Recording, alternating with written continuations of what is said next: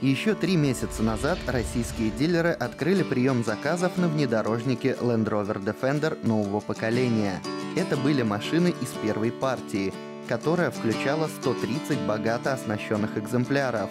В приветственный тираж попали трехдверные Defender 90 и пятидверные Defender 110. На выбор предлагались только средние комплектации, а широкой публике была объявлена только начальная цена – 4 миллиона 512 тысяч рублей. И вот теперь покупателям стали доступны абсолютно все модификации. Базовая пятидверка будет стоить чуть больше 4 миллионов рублей. За эти деньги полагаются адаптивная пневмоподвеска, светодиодные фары, двухзонный климат-контроль, мультимедийная система, камеры кругового обзора плюс многочисленные подогревы, не считая запуска автономного обогрева двигателя и салона через приложение на смартфоне.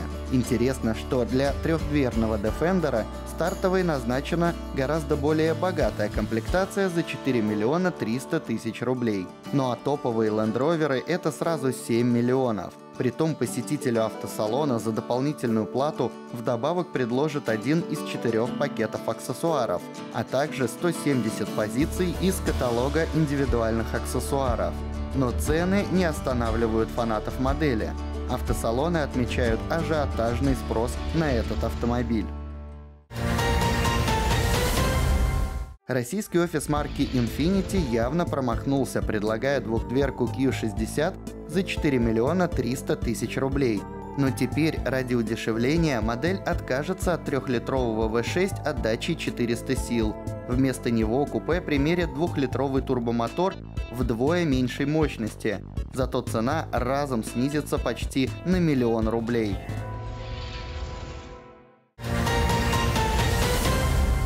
Также стали известны цены на обновленную Honda CR-V. Сюрприза не случилось. Машина подорожала примерно на 50-100 тысяч рублей.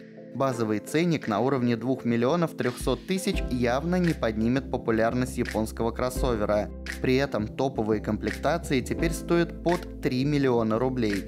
А это значит, что вчерашний бестселлер российского рынка окончательно сохранит за собой статус нишевой модели для настоящих фанатов.